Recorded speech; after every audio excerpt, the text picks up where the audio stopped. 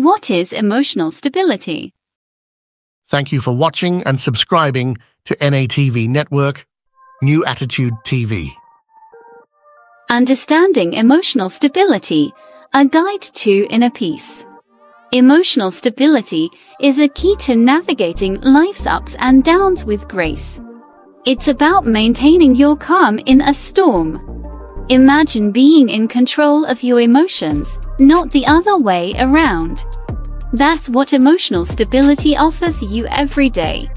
It's not about suppressing your feelings. Rather, it's understanding them, acknowledging them, and responding, not reacting, to life's challenges.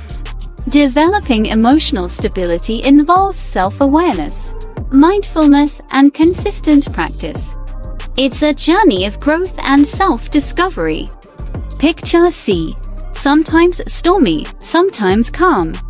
Emotional stability is learning to sail smoothly, regardless of the sea's state. This skill enhances relationships, improves decision making, and leads to a healthier, happier life. It's truly transformative.